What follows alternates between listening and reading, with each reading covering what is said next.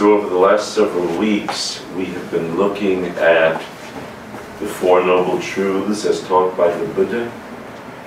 And in our, in our short session this evening, we'll just do a little recap. But I have to say to recap the Four Noble Truths and anything short of a week's retreat for each is um, shall we say, cutting some corners, but we'll, we'll do that, we'll understand, and perhaps we'll just get a little sense, and, and then on uh, our longer sessions we can fill in. So immediately after his awakening, the first teaching that the Buddha offered, which is called the initial turning of the wheel of Dharma, he said, I have discovered the middle way, meaning that he would not pursue a life of extreme luxury nor a life of extreme austerity because he found that neither one really worked. And then he offered the teaching that has become known as the Four Noble Truths.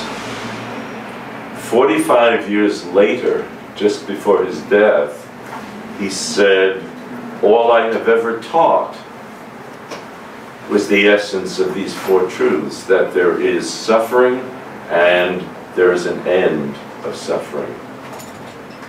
Suffering in Pali is called dukkha. Since I always uh, find myself uncomfortable translating dukkha, I sometimes just resort to saying dukkha, but it means suffering or stress or unsatisfactoriness, unrest, from the major suffering to the minor unrest that we experience.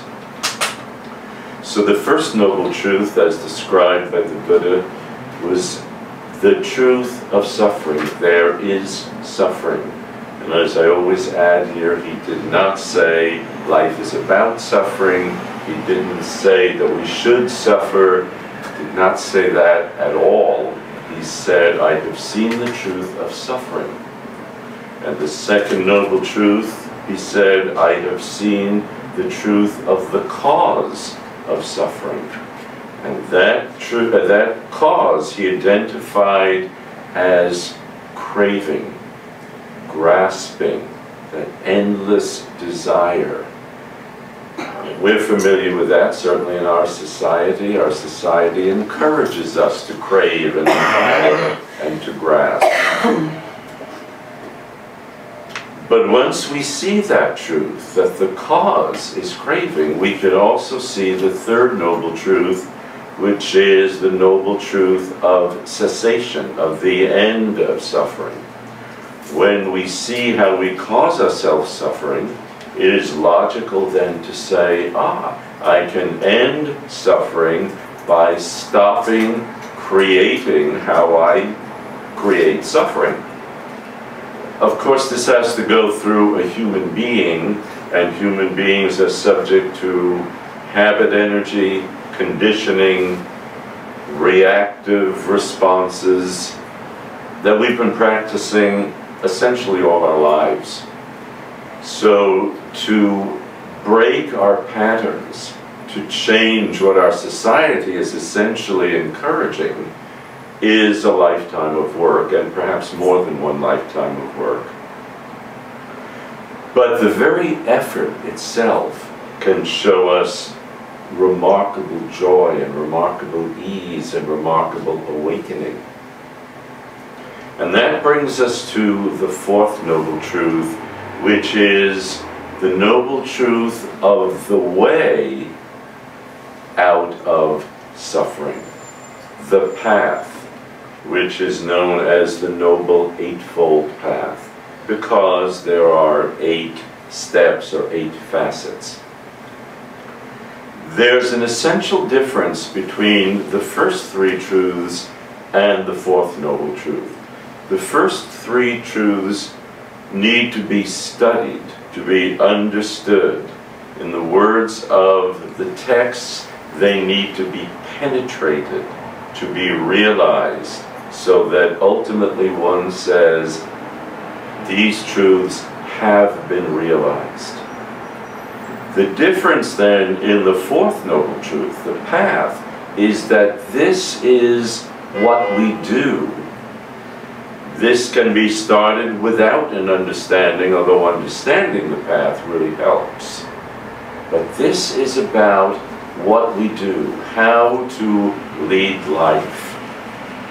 So those eight steps, and I'm going to first introduce a word. The word in Pali is samma, S-A-M-M-A, and we translate that either as right or skillful. Those are the two translations you'll see most often.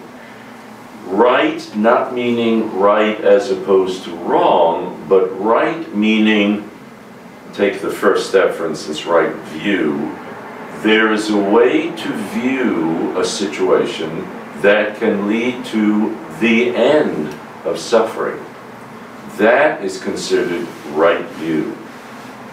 To view a situation or a thought or any phenomenon in a way that perpetuates suffering or creates suffering for oneself or others is considered to not be a right view. So using the word right, the eight steps would be right view, right thinking, right speech, right action, right livelihood, right effort, right mindfulness, and right concentration.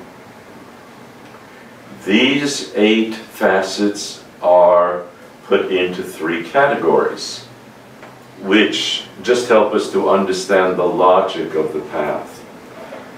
The three categories are, they start with panna in, in Pali or prajna in Sanskrit, which is wisdom. The two facets of wisdom are right view and right thinking. They lead to the three facets called sila, or morality. Right speech, right action, right livelihood. And then the three facets of samadhi, which is either concentration or discipline. I tend to say discipline because one of the three steps in this category is actually right concentration. It's right effort, right mindfulness, and right concentration.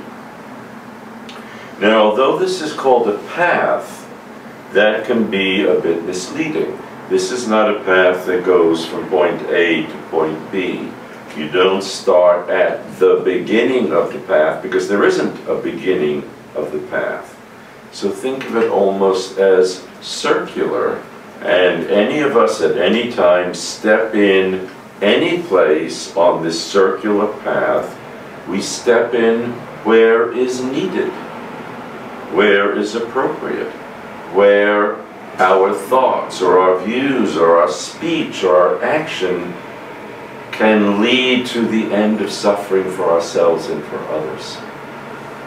Now, of course, we have to name these steps, so there is a traditional order, although there are those who, who break that tradition. But traditionally, we start with right view. And interestingly, we end with right view. But we kind of start with right view at what is likely to be a kind of rudimentary level. And then in our life journey, going deeper and deeper and deeper, we find our ability to view things as they really are to have become deeper with more clarity. So we start with right view, but it's right view that is becoming deeper and deeper with practice. Right view is the ability to see things as they really are, which Buddhists say is the ground of wisdom. To see things as they really are. When we don't see things as they really are, the Buddhists will say that is delusion. And the three poisons that we deal with in this life form are greed, hatred, and delusion. Delusion is kind of the nice word for ignorance because, you know, we say ignorant, then everyone says, I'm not ignorant. But occasionally I can be deluded, so I'm willing to accept that. So, to not see things as they really are is really a state of delusion. So our efforts are to see things as they really are. That is right view. What gets in the way is our ongoing habit energy to immediately add to what it is that the actual experience is. Our right-ons, our concerns. If I twist my ankle outside, there's pain. That's it. Now, what gets added to that is, oh, the pain is awful. Okay, so awful that I'm not going to be able to get to work today. And if I don't get to work today, I think I'm one day over my vacation days, I can get fired. I'm certainly going to be reprimanded. And that's why I got fired from my last job. Now I'll be fired again from another job, fired from two jobs. I'll never get enough. My kids are going to starve, not to mention they'll never go to This is the biography. We love writing our biographies. Why not? It's about me. What's more interesting to me than me? So I get caught up in that. Whether it's a pleasant biography or an unpleasant biography hardly matters, as long as it's about me. So that's the pull. And that is a form of craving that makes me the center of the universe. Now, if you tell me that I'm not the center of the universe, I will say that's not true, and I will think that. And why would you tell me that I'm not the center of the universe? Because you are. And if I tell you that you're not, you will cling to that. And that's why we're in conflict. I mean, there has to be some reason why, after how many millions of years, we still think the way to do it is to kill each other, and then that will solve everything and we'll be at peace. We haven't caught on yet that doesn't work, but maybe we will someday. So, right view, to see things as they really are with clarity, with ease, with simplicity. That lays the ground for right thinking. The way I view something will become the way I think about it. And the way my thinking will then move into the way I speak, the actions that I take, and the Buddhists saw that we spend an enormous amount of time involved in the way we earn our livelihood. And so, right livelihood is actually a step in this path. So that progression to see things as they really are leads to clear thinking, and clear thinking will bring about compassion which will balance with wisdom, and then we've got a pretty decent life going. That balance of compassion and wisdom.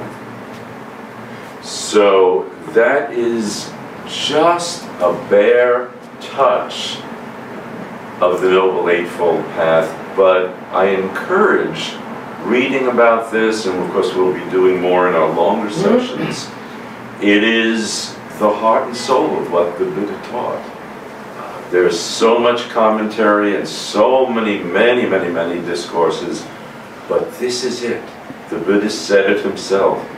This is all that I have taught, that there is suffering and there is an end to suffering.